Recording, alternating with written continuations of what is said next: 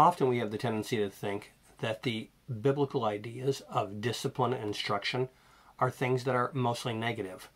But in reality, musar, the Hebrew word that describes those things, is something that is positive. Because the biblical principle is you catch more flies with honey than you do with vinegar.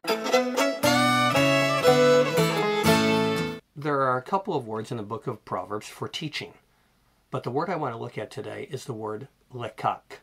Lekak means learning, teaching, and persuasion.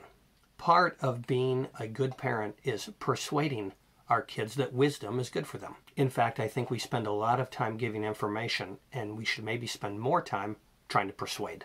We have to understand that if we want our kids to adopt the values of the Bible as their own values, we can't constantly give them only negative responses. For example, if you make 15 comments a day to your kids about their behavior, but only four of them are negative, then your kids will understand that you love them and that you care about every aspect of their life. In reality, wisdom teaches us that we should affirm our children in the things that they are doing well.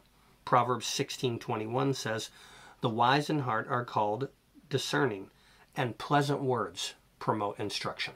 Okay, three points to keep in mind when we affirm or praise our children. Number one, be sure that the vast majority of your praise is based upon things that our kids can control, like attitudes or actions or behaviors, rather than on things they can't control, like good looks or natural ability or intelligence. Number two, use praise and affirmation as a way to reinforce biblical values in the life of your kid. We want to be affirming them in the things that we think are the most important. This will also have a secondary effect on the rest of the kids in your family.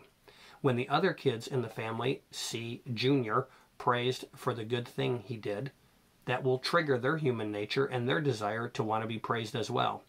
So when you praise Junior publicly, you encourage him and you put out a challenge for the rest of the kids in the family about what behavior you like. And number three, don't give fake praise. There are a lot of people who think that if they just praise their kid for every little thing he does, then he's going to turn out to be a wonderful child. But the reality is, is when we praise kids for things that they haven't done all that well, it cheapens our praise in their eyes and in the eyes of the rest of the kids in our family. For example, if your three year old brings you a coloring page with scribbles all over it, you can praise him for that. If your seven year old brings you a page with coloring scribbles all over that, you probably want to tell him something like, Well, that's pretty good, but I think you can do better.